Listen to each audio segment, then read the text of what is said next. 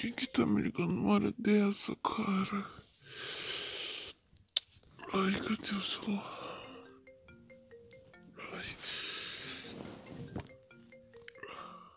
Mano, são sete horas da manhã. Sete horas. Hoje é minha folga. Ai, quem é? Andressa. Doutora Andressa. Alô? Alô, John? Oi, Andressa, tudo bem? Desculpa, demora pra atender, eu acabei de acordar. Ai, desculpa. É que eu tenho uma emergência e eu preciso muito da sua ajuda. Claro, não tem problema nenhum, não. Pode falar o que aconteceu. É que é o seguinte, a minha filha, ela tá em trabalho de parto e eu preciso levar urgentemente ela pra maternidade. E eu tenho alguns pacientes hoje e eu sei que é sua folga, me desculpa. Mas eu tenho como você me cobrir? Que? Caraca! Não, não, não, Andressa, tudo bem, não precisa pedir desculpa, não tem problema nenhum. Boa sorte pra N, boa sorte pro seu netinho, vai dar tudo certo. Que o Ravi venha com muita saúde, mas não tem problema algum, tá? Eu vou descobrir, sério, de boa. Mas se tem algum paciente em específico que você precisa me passar alguma informação sobre ele? Ah, tem sim. A, a SN. Ela tá de cinco meses e Uhum. hoje ela vai descobrir o sexo do bebê. Tá marcado pras 10 horas. Tá, tá ok. Obrigado, Andressa. Boa sorte pra sua filha, tá? E que o seu netinho venha com muita saúde. Nossa, muito obrigada. Muito obrigada de verdade, tá? Tchau, obrigada. Tchau. Ah, Tá ok. Vamos trabalhar.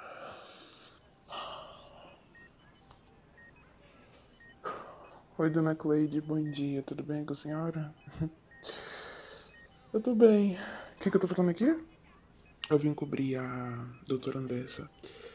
Enfim, você tem aí todas as fichas da doutora Andressa pros clientes de hoje. Tanto da manhã quanto da tarde.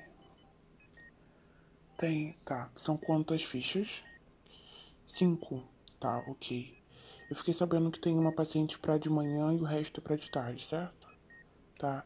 Você pode me passar a paciente que é pra de manhã, por favor? Pra agora 10 horas. Isso, é SN, essa daí mesmo. Ah, obrigado. Eu vou cobrir ela hoje que o netinho dela vai nascer. A N, ela. A bolsa dela estourou, né? E como a N mora com a Andressa, aí a Andressa levou ela pra maternidade. Aí o genro dela também foi, o marido dela. Enfim, primeiro o netinho dela, né? Com certeza ela vai ficar lá por um bom tempo.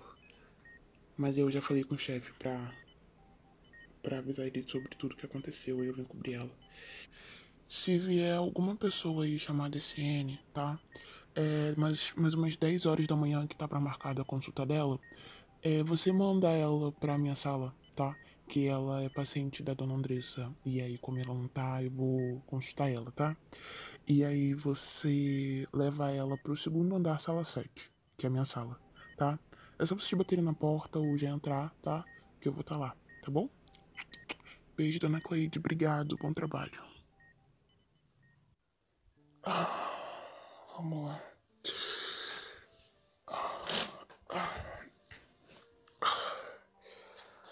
Ainda são nove horas, então eu ainda tenho mais ou menos uma hora pra estudar o caso dela. Vamos lá, SN. Ah. Tá ok, já fiquei sabendo que você é mamãe. É, vamos lá, você tá de quantos meses? Pra descobrir o sexo do bebê hoje deve estar de 4 a 5, né? Tá ok, vou dar uma estudadinha até ela chegar.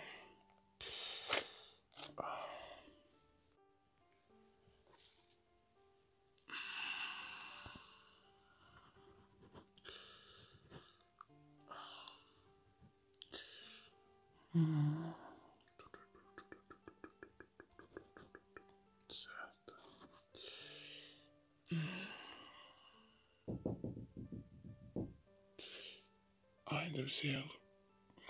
Entra. Oi, obrigado, dona Cleide. Oi, SN? Oi, tudo bem? Então, provavelmente você não deve estar entendendo nada, né? Mas eu não sei se a dona Cleide já te explicou. Mas. Um pouquinho? Tá, então eu vou te explicar melhor, tá? Primeiro eu vou me apresentar. Prazer. Eu sou o Dr. John Jongo, ou Dr. John, como as pessoas me chamam. É, eu sou obstetra daqui, tá? Um, dois. É, eu faço um pouco de tudo aqui no hospital, faço cirurgia com os pacientes, sou cirurgião também. Mas o meu foco é há uns três anos é, são em pacientes infantis. Meu foco agora é em obstetrícia, então você pode ficar tranquilo que você está num lugar seguro, tá? Eu sou especializado nisso. Então, vamos lá. O que, que aconteceu com a doutora Andressa? A doutora Andressa tá bem, uma hora dessa ela deve estar tá feliz pra caramba, porque provavelmente o neto dela já nasceu. Mas você sabe, né, que a filha da doutora Andressa, a Anne, ela tava grávida do Ravizinho, do Ravi, um menininho.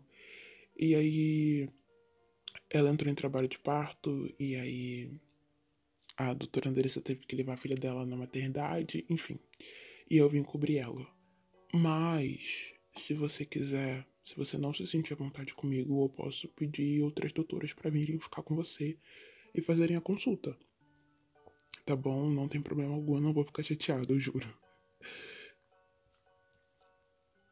Ah, eu pareço ser legal. Obrigado. Sou muito brincalhão também, tá? Obrigado de verdade pela confiança. Enfim, é, eu fiquei sabendo que hoje você vai descobrir o sexo do seu filho, do seu bebê. Você deve estar muito feliz, né? Porque eu tô muito. Eu amo descobrir sexo de babies. Eu já fiz muito isso, muito isso. Eu faço basicamente de uma a três vezes na semana isso. Mas cada cada dia que eu faço ultrassom para descobrir o sexo do bebê da pessoa é uma alegria diferente, sabe? É uma emoção diferente, uma emoção única. Enfim, tá animada? Você tá de quantos meses? Cinco. Tá certo, cinco meses. Então, já dá pra descobrir o sexo do bebê com quatro. Você veio aqui mês passado? Tá certo, então. Eu sei que você quer muito descobrir o sexo do bebê, mas antes eu preciso fazer um momento perguntas. Que eu sempre faço para as minhas pacientes. Que se você quiser tirar alguma dúvida sobre a gravidez, sobre qualquer coisa, sobre o bebê, você fala comigo que eu vou te responder. Tá bom? Você tem alguma pergunta para fazer? Pode ficar à vontade, pode fazer quantas você quiser. Eu tô à sua disposição. Fica tranquila. Então pode fazer as perguntas. Fica à vontade. Qual, qual é a pergunta que você tem para fazer?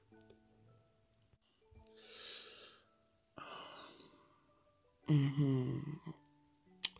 Tá, primeiro eu preciso saber se você sangrou no início, no meio, ou ontem ou hoje na sua gestação. Você sangrou? Teve algum tipo de sangramento? Pode ser pequeno, intenso, qualquer tipo de sangramento. Hum. Tá, tá, claro, entendi. Tomara que isso não aconteça. Claro, é normal isso acontecer no parto normal, né? Sangrar, né? Porque é normal, enfim. Mas vamos lá, respondendo a sua pergunta, isso, esse negócio de sangrar durante a gestação, ele acontece em cada 20% das mulheres. Então já é um número bom. Não acontece tão raramente assim. Esse sangramento, ele pode acontecer decorrendo na, da nidação. O que, que é nidação? Tipo, ou seja, pode acontecer do processo de fixação do embrião dentro do útero. Tá? Qualquer tipo de sangramento que você tiver, a gente não pode ter certeza se é normal ou não, contanto que a gente tenha certeza. Todo sangramento que você tiver, se você tiver algum sangramento em, na sua gestação, com 6, 7, 8, 9 meses, você tem que investigar esse caso. Você tem que procurar o seu médico procurar a mim, procurar a qualquer médico daqui, para ele investigar, fazer o exame para ver se tá tudo certo com você. Enquanto a gente não souber o que que aconteceu, enquanto a gente não tiver investigado o que que aconteceu, a gente não pode ter certeza se aquilo foi normal ou não. Entendeu? Respondeu a sua pergunta? Então tá. Mais outra pergunta que você quer fazer? Exercícios físicos. Ok, boa pergunta. Uhum. Então, exercício bom pode, pode, claro, deve também. Alguns médicos indicam também. Eu indico também. É... Tem mulheres que já se exercitavam antes, engravidou e continuam se exercitando, tudo bem. Mulheres que descobriram o benefício do exercício e querem é, se exercitar, também é muito bom. É, e sim, exercícios faz muito bem pro bebê, enfim. Mas você pode sim fazer exercício, tá liberado, desde que não haja nenhuma contradição da própria gestação. Desde que o seu filho vira para você e fala assim dentro da barriga mesmo: Mamãe, hoje eu não tô afim que a senhora malhe. Mamãe, hoje eu tô de boa, assim, quietinho, sabe? Quietinho. Aí você tem que ficar o quê?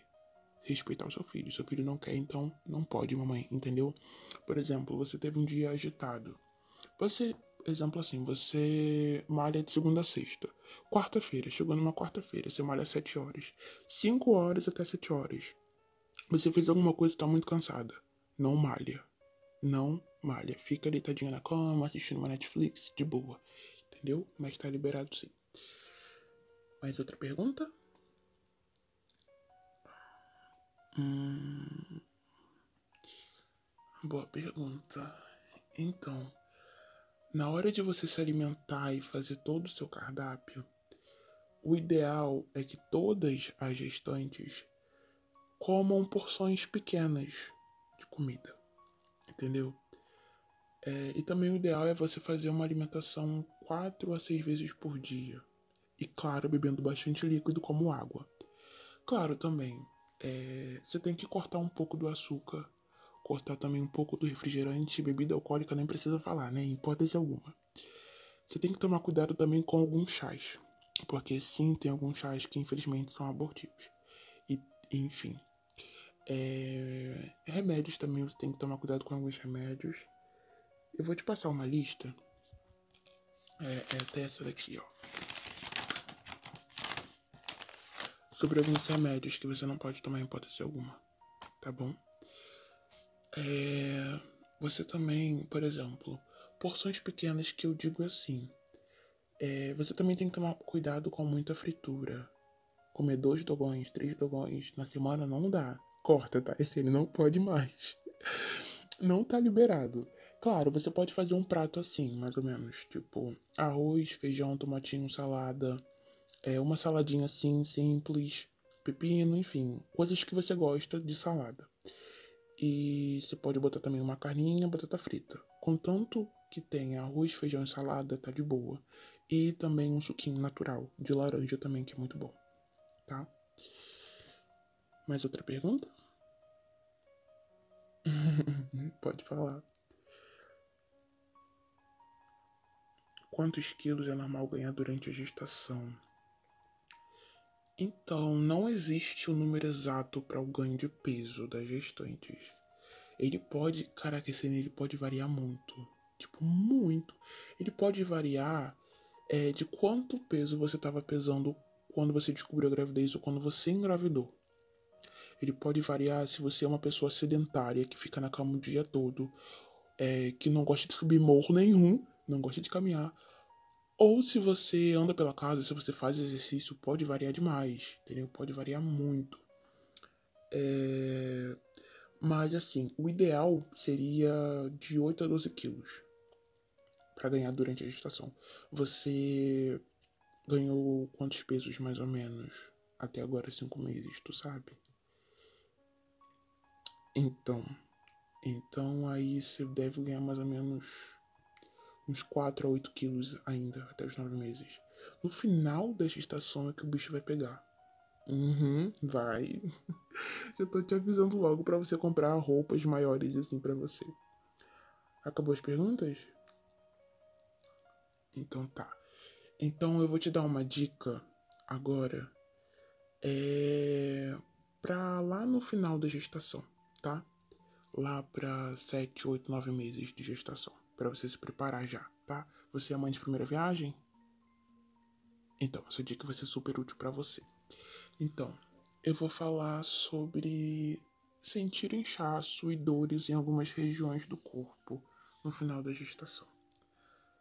O inchaço, ele aparece como uma das principais queixas e reclamações das grávidas, principalmente na reta final da gestação. O inchaço ele é muito comum no fim da gestação. E ele costuma ocorrer de forma leve a moderada, assim, é, à noitinha no término do dia, tá?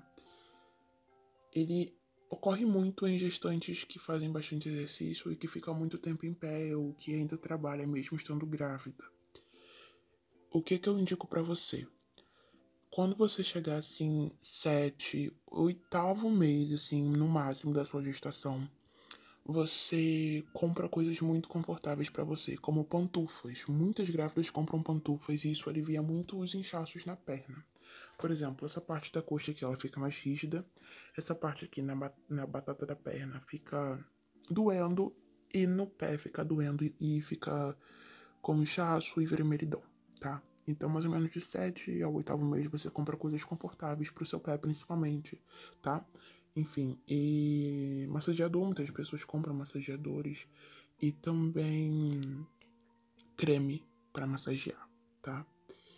Mas se esse, esse inchaço e essas dores ficarem muito constantes e doerem muito, procure mim, procure a mim, procure a Andressa, procure a qualquer um, porque a gente tem que investigar esse caso, tá? Porque não é normal. Enfim, é só isso. Rapidinho, né? Tirei suas dúvidas? Gostou da dica?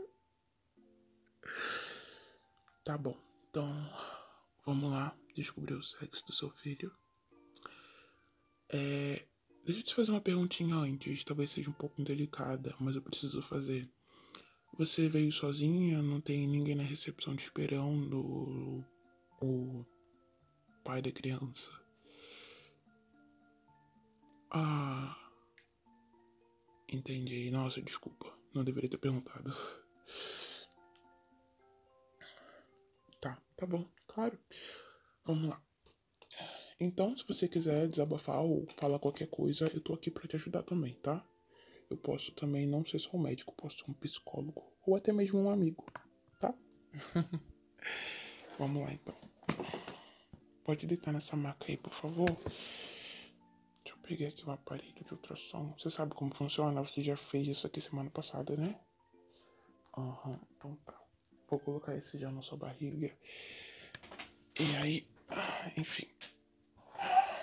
Ele é bem geladinho, tá? Tá. Vamos lá. Olha, já apareceu aqui, ele tá bem agitado hoje, viu? Ó, deixa eu mostrar pra você.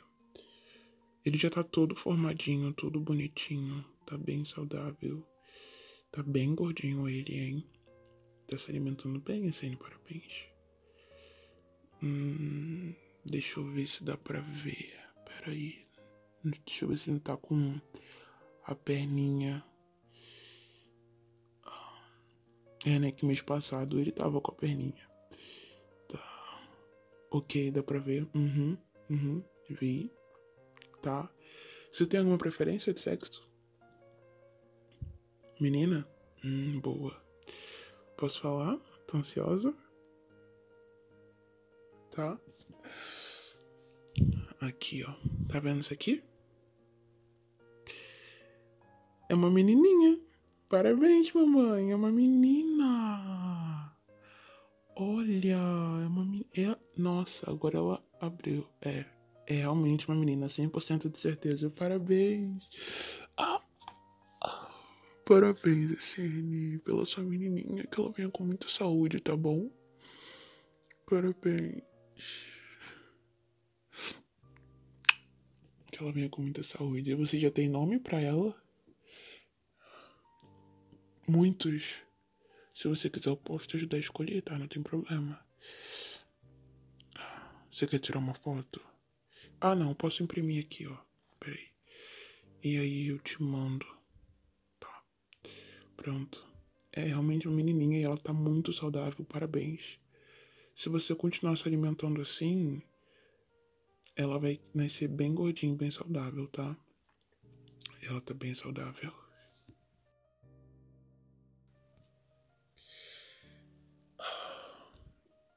É...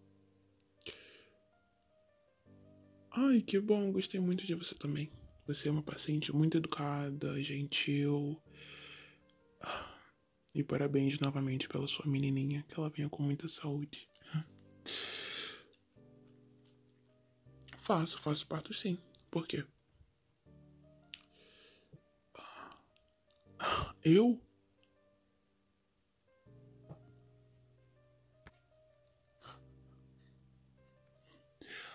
Olha, que a doutora Andressa, ela vai se sentir excluída, hein? Tô brincando, ela vai entender super. Ela não é especializada em parto, mas ela gosta de ficar vendo, sabe, da cabine. Mas eu sou espe especialista. Eu posso fazer sem problema algum. Eu vou me sentir muito honrado. Na próxima consulta, que vai ser a sua consulta de seis meses ou de sete, a gente pode falar mais sobre o parto, se você quiser, tá? E você veio de Uber?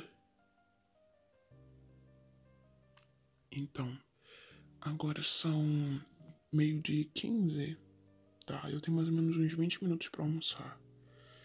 Vamos fazer o seguinte. É, você quer almoçar comigo? Tem um restaurante aqui perto muito legal e tem comidas maravilhosas que gestantes podem comer. E você quer ir lá comigo? Aí depois, se você quiser, eu posso te levar para casa.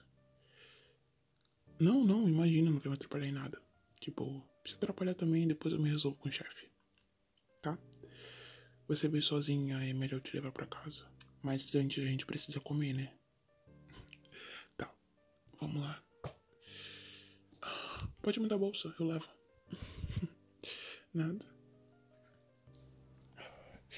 Espera aqui rapidinho que eu vou entregar sua ficha aqui pra dona Cleide da recepção. Rapidinho. Oi, dona Cleide, boa tarde. Aqui tá a ficha DSN. Acabei a consulta dela agora. Então, é o seguinte. É, desculpa, mas o nosso almoço junto vai ter que ficar para amanhã. É que eu vou levar a SN pra almoçar no restaurante aqui perto. Não me olha assim, dona Cleide. Não me olha, não me olha assim. Com esse olhar safado, cruz credo. Eu sou. Eu não faço essas coisas. Eu só vou levar ela porque ela veio sozinha e depois eu vou levar ela pra casa. Depois eu me entendo com ele. Tchau, boa tarde. Vamos?